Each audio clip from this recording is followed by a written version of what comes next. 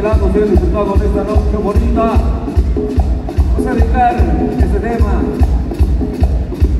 allá para el presidente municipal Gonzalo Rodrigo Peña Hernández, al presidente Santiago Yosondúa, a la gente de Cimatlán de Juárez y a la gente de Yutecosto, Cuauhtémoc.